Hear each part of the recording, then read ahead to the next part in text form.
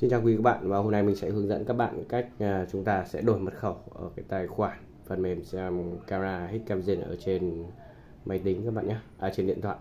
À, thì trước tiên thì các bạn sẽ bấm vào biểu tượng tôi và các bạn bấm vào phần biểu, biểu tượng à, thằng người trên cùng này.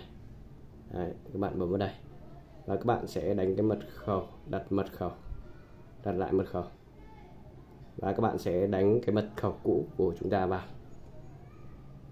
Khi các bạn đánh xong mật khẩu uh, cũ thì các bạn bấm chữ tiếp theo. Và đến bước này thì các bạn sẽ đặt mật khẩu mới từ 8 ký tự đến à, uh, 32 ký tự. Đấy, ví dụ này. Đấy, các bạn lựa chọn này cả tên ví dụ như là tư này. À, uh, từ Hà Nội. 1 2 3 4 không được liên tiếp các bạn nhé từ Hà Nội.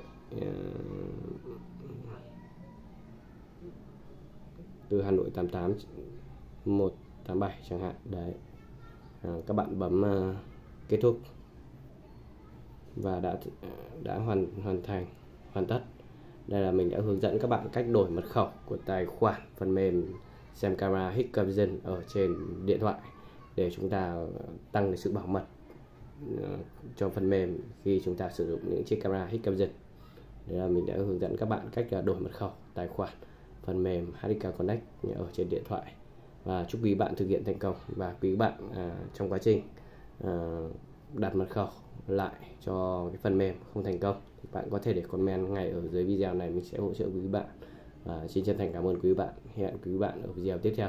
À, rất mong quý các bạn hãy ủng hộ giúp đỡ mình bằng cách đăng ký kênh và ấn nút chuông giúp mình. Xin chân thành cảm ơn quý bạn. Hẹn quý bạn ở video tiếp theo.